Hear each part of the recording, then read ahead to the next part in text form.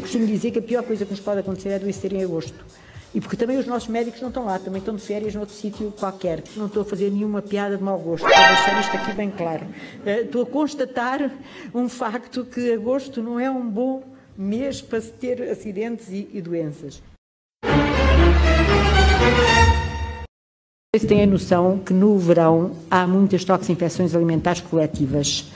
Uh, tradicionalmente em Portugal, eu vou dizer uma coisa que é absolutamente verdadeira, quando nós investigamos, uh, o grande responsável é o bacalhau à brás, porque aqueles grandes convívios, piqueniques, excursões, uma das coisas que é mais usada é o bacalhau à brás, que está pré-feito desde manhã e que depois leva uma, aquece-se não chega a aquecer à temperatura suficiente e que leva ovos.